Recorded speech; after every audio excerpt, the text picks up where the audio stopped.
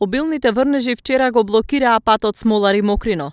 Граѓани испратија видео од состојбата на патот во кое се гледаат големи наноси од дрвја и камења. Наносите одредено време се зголемуваа и можеше да се минува само со теренски возила.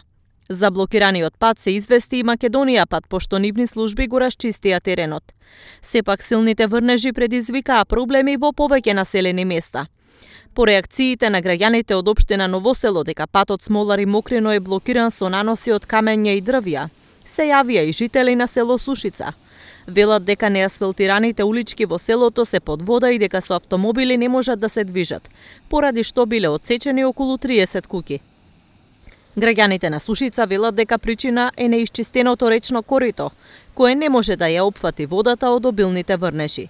Тешко прооден, а на некои места попречен вчера беше и патот до смрдлива вода во Гевгелија поради обилните дождови, што два дена непрестано врнеа во југоистокот.